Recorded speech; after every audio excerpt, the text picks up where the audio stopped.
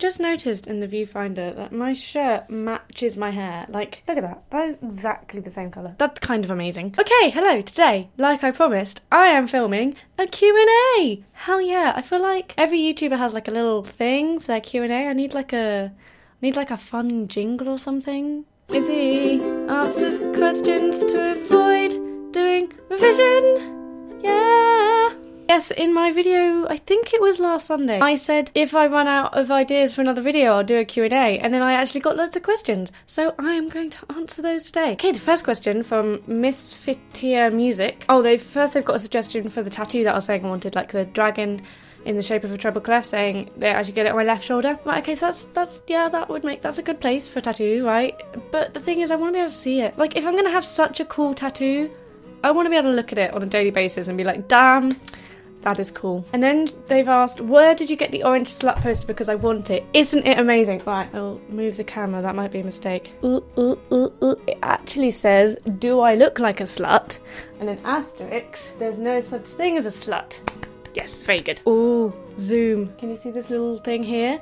That's Hannah. That was a dangerous move for me to like change the focus. Yeah, it is Hannah Witton's merch, so I got it from Sitzy. Okay, the next question from now Shin Rocks 2000. How do you choose what you wanted to study in uni? Oh, Oh, Sonny boy. You've actually opened quite the can of worms there. You see, I spent two years auditioning um, to do musical theatre at drama school, but I didn't get in anywhere, so I sort of just went, oh my god, I don't want to fail at life. Uh, I'll do English or something, because I'm kind of okay at English sometimes. Even though I found English like some one of the hardest subjects throughout my school career, I somehow have ended up doing English at one of the best universities in, in the country. I don't know. Because naturally, when I was like, oh, I need to have a plan B because I haven't got into drama school, my plan was see if I get in, can get into Cambridge for English because logic. I did get an interview, but I didn't get into Cambridge, and I'm really glad I didn't because London is awesome. So, yeah, short answer how did you choose something that I didn't hate? Axis Power Hetalia has, has, with wow, has given me 14 questions, so I'll whiz through these. Number one, song that always makes you happy. In like a yeah, happy way. Pretty much anything by Great Big World. Styles of singing you enjoy. I mean, I just like singing. I would say like kind of jazzy things because it doesn't come naturally to me, so it's like a bit of a challenge and I find it fun seeing if I can do it. How many pillows do you have in your bed? Just the one, and it's shit. It's just. Four, least favourite social media? Facebook, let's be real. Like, it used to actually have things that interested me, and now it's just cats. And cats are fine, but Facebook cats aren't as good as Tumblr cats, so it's just like, can't be bothered. How many instruments can you play? Uh, guitar, ukulele, piano, violin in theory. I, I learned it, but I've last time I tried to pick it up, I kind of broke the violin. And recorder, I suppose. It's actually such a like life problem with me. I just want to learn more instruments. Pets, current, and if you want more. Um, I currently have three dogs, sort of. My mom has a Jack Russell, which who I made a video with. I'll link it. And my dad has two staffies called Red and Crackers, and they're very, very cute, and I miss them a lot. Pizza or hamburger? Pizza all the way. Studio Ghibli. Not yet.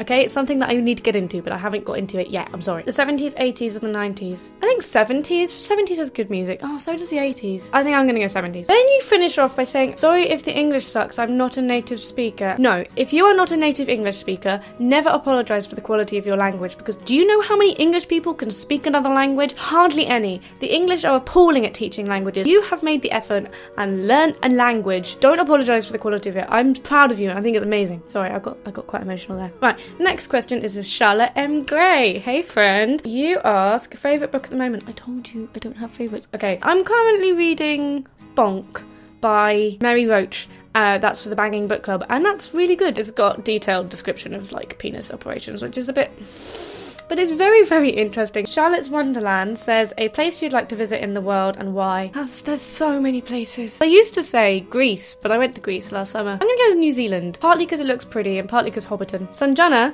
asks, Who are some lesser known creators on YouTube that you love watching? Holy crap, there are so many. I will just link them below because that could be an entire video of itself. Fanasaur asks, What's your advice for revising for GCSE? Well, you can go watch my revision process video, which I hope is of some help. Specifically to GCSE, remember that it gets better. I know that sounds ridiculous, but like GCSE suck, right? Because you're still studying subjects that you don't like. Don't let it make you hate education. And also just try to make it fun. So just like see what you can do about like revising with friends or like making up songs. Heather Inkpen, i.e., my, my mother, but she would hate me if I didn't answer the questions. So I'm going to answer the questions, okay? Leave me alone. My mum asks, if you can live in England, where would you like to live? Mm, mm. I was going to say somewhere like Germany, but actually they've got some LGBT rights issues, so that's not cool. I think I'd probably go for somewhere like Norway or Sweden. One of those are like the happiest countries in the world. All my flatmates stop opening doors.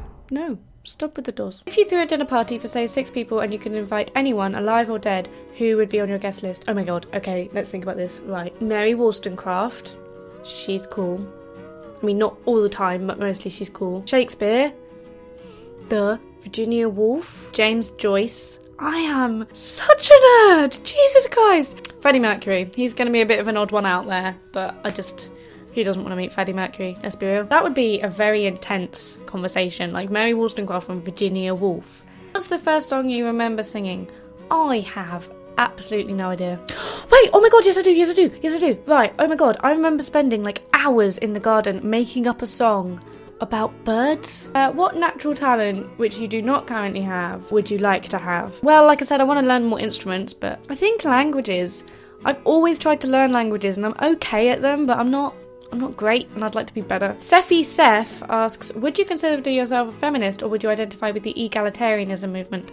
I do believe that my video from yesterday answers that question pretty sufficiently, but egalitarianism move? Okay, right, cool. And that is all the questions. Yay, that was that was fun. That was easy actually. That was really nice. That was just sitting down, answering questions, talking to you guys because that reminds me, I recently got over 500 subscribers that's really cool. So that was today's video. I hope you enjoyed it and I will see you tomorrow. Bye bye. Can I just ask, I went for like olive green eyeliner to go with the shirt. Does it work? I feel like I look a little bit like a wood nymph, but that's not necessarily a bad thing. What do you say? What's your verdict, guys? What's your verdict? What's your verdict? Ooh.